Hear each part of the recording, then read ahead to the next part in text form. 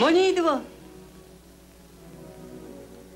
Oto niebywały efekt wielowiekowej współpracy i twardej koegzystencji fizyków, psychików, chemików, psychoanalityków, psychopatów, psychologów i psychoartystów. Oto